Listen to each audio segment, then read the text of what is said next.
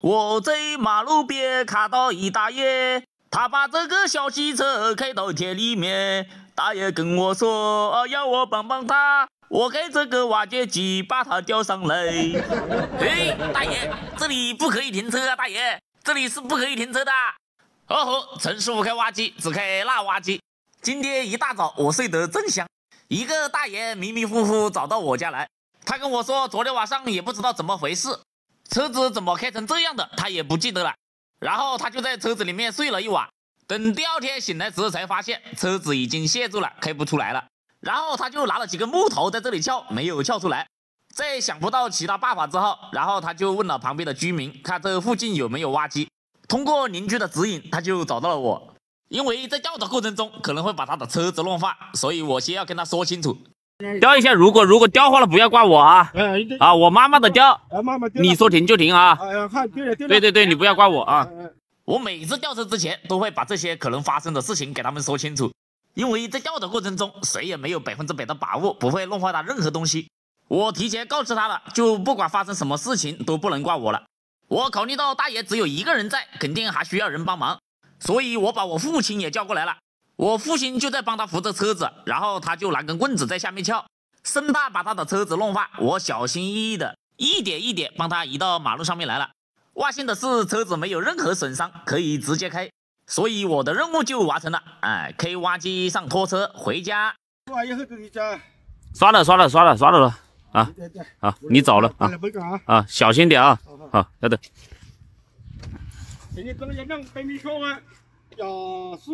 哦，有两百米的挡土墙是不是？好，要的，交我了哈。好，谢谢啊啊啊啊！嘿嘿，帮大爷救了这个车子。没想到大爷跟我说，他家明年有两百米的挡土墙要建，过完年后他就要我帮他去干活，嘿嘿，开心开心极了。有时候帮助别人就是帮助自己，每天少赚几百，生活多姿多彩。感谢大家的收看，我们下回见。你屋里花都没煮啊？啊，在外面都睡觉了。好了，那我跟你到外面去，到别人家里面去喝喜酒啊？哎，没关系的。哦吼，陈师傅开挖机，只开那挖机。今天碰到的这个东家，他话都不煮，害我随了一百的礼，跟他一起在外面喝喜酒。事情呢是这样的，东家有一个好大的院子，一家人都在外地打工，常年不在家。因为这个院子没人打理，所以就长满了很多草，每年都至少叫我给他挖两次，来帮他把这些草清理干净。我每给他清一次草，东家都会损失好几百挖机费用。但是这一次他就学聪明了，他觉得这样治标不治本，长痛不如打痛，干脆这一次把草清理掉之后，就直接打上混凝土，这样就永远不会长满草了。今天这个东家呢也是非常的懒，靠墙边的一棵小草，一个抓头都要用我挖机去挖。明明有些地方的草挖机不好去清理，直接用手还快一点，但他偏偏要让我用挖机挖。结果我一个不小心就把他的爬气管弄断了，这就有点尴尬了。然后东家就跟我说，不好挖的地方就不要我挖了，他自己人工用锄头挖。把这些草全部清理打堆之后，东家就叫了一个货车过来，让我把这些草全部挖到货车上拉出去扔掉。把草全部装到车上之后，这里面他要挖一条爬水沟，以后下雨的时候。整个瓶里的水就从这个爬水沟流出去，挖着挖着就已经到了中午吃饭的时间。你屋里话都没煮啊？啊，在外面都睡觉了。好了，那我跟你到外面去，到别人家里面去喝喜酒啊？哎，没关系的嘞，都是间房经济嘞。那怎么行？我到你家里面吃那我怎么到别人家里面吃呢？没关系，到别人家里面去吃啊？啊，下了，上班了。啊，好了好了。东家说他一个人在家，家里面没有做饭。让我跟他一起去喝喜酒，可是他这个摩托车就是打不着火，所以没办法，只能跟他一起走路去了。这个跟你去吃饭，我也不随个两百，我就不好意思去吃了。东家，我真的不好意思去吃。我给你打个烟啊？不打不打个烟？不打我那怎么行呢？那我不好意思去吃的啦。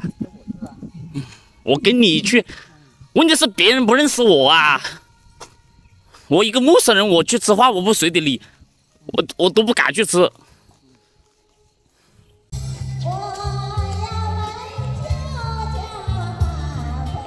前面应该就是那个喝喜酒的地方了，因为有个大妈在这里唱歌。听这个歌声，大妈唱得非常好，让我们来静静的听一下。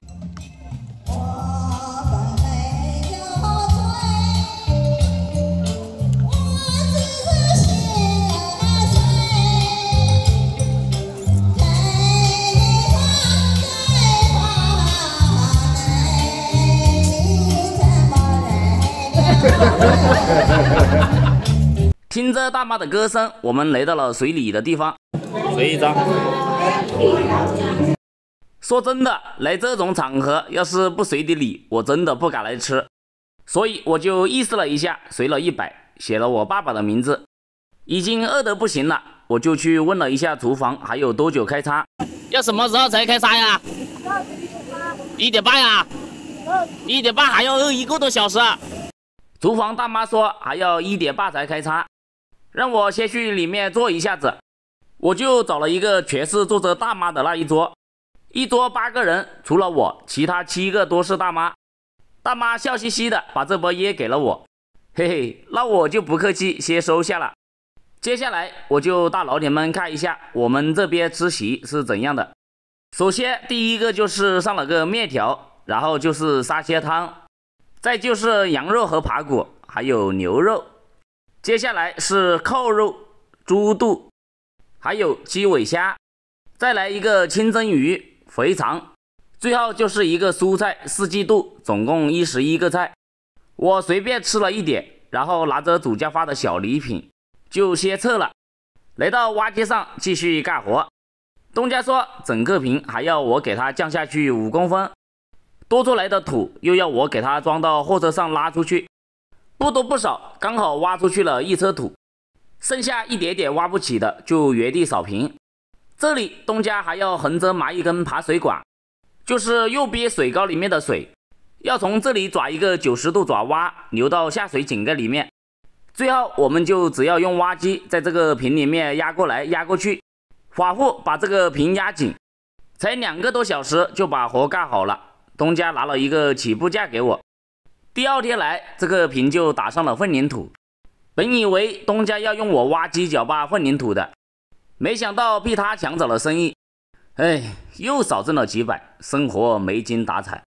哦，陈师傅开挖机只开那挖机，老铁们，连续两天在同一个地方卸住两次车的，你们有没有接到过这样的司机？这个大哥，我昨天帮他把车拉出来。工资都没有给我，还把我的布袋也顺走了。没想到他今天又卸在了这里。你们说惊不惊喜，意不意外？昨天被你上了一课，今天我保证你跑不了。今天不把两次起步价给我，我绝对不会放他走。大哥说到我这里办个 VIP，他说能不能够拖两次送一次？我说送就送不了，只能给你打个八五折。现在八点八的油价。最多八五折，不能再少了。大哥说八五折也行。昨天修的这座桥，没想到过一趟就垮了。哎哎哎，大哥怎么开车的？车子好像要花了。我立马下去看一下。是我昨天高上放的水泥块把车子顶起来了。我和大哥两个人用力摇车子，才把车子放下来。发动机油底壳被石头撞了一个很大的坑。现在石头还在车子下面，我们强行把车子拉出来。大哥的技术还是跟昨天的技术一样，找位很风骚，不找寻常路，一定要挖机用布袋切着车子才敢倒车。这个根本就不需要我挖机了，只要昨晚少喝一点，就完全可以倒出来。兄弟们，你们看，又开到草里面去了，这绝对是路太挖了，要不就是方向盘太松了。你要说他技术差，他就能够每次完美的避开路中间；你要说他技术好，他不是开到槽里，就是开到沟里，这技术都传染给我了。我挖机有一边履带掉沟里了，先不管车子，把自己开上来再说。如果自己挖机发在沟里，这就有点丢脸了。接下来我们继续牵着车子往后面退，看大哥这情况好像不对，差一点又撞到我，还是昨天那个地方。只要大哥没有找 S 型路线了，肯定就是要对着我撞了。还好我昨天有经验，知道他会来这么一招。才刚到几米，感觉又不对劲了。前轮应该是掉到左边沟里面去了。我用力强行拖一下，看能不能够把它拖出来。大哥从副驾驶下来看了一下，下面又有个石头顶住底盘了，怎么每次都祸不单行啊？挖机强行用力拖，看能不能够把车子拖出来。哦呵，这下好了，左边的后轮子也掉下去了。如果我是车主，我真的车都不想要了。大哥说让我用力拉，车子拉坏不要我赔，只要把车子拉出来就行。我是不想拉坏他的车子，只要他车子没有坏，就经常会卸车，卸车就又会叫我，我就又有生意了。马上就又到了昨天掉到沟里的那个位置，这次大哥就有经验了，靠左边倒上来，拉到这里之后，大哥说可以了。大哥说他倒车从来不看反光镜。倒车完全是靠感觉。